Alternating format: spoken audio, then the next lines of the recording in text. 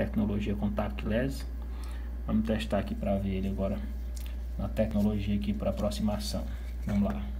Vou colocar aqui um valor aleatório. Corrigir aqui, colocar 1,50. Vamos ver o que que diz. Aperta no verde.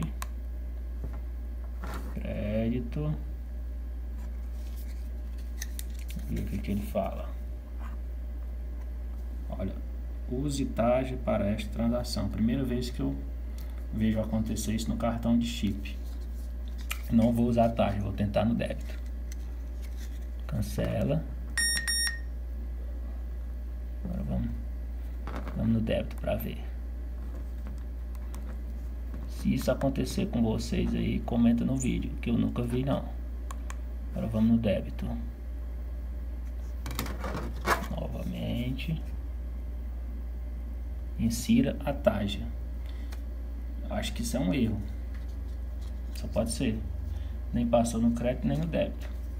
Vamos passar essa taxa. Ou não, vou colocar o. É, vamos passar a primeira taxa. Depois eu insiro o chip. Vamos ver o que acontece. Que a taxa está um pouco antiga. Não reconheceu. Novamente. Também não. Insira o chip.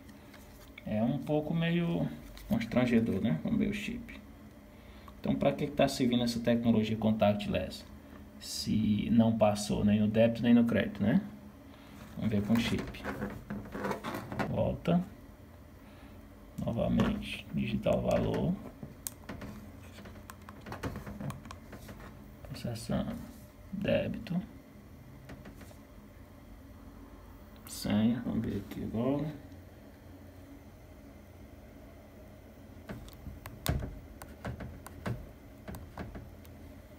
Senha digitada. Vamos lá.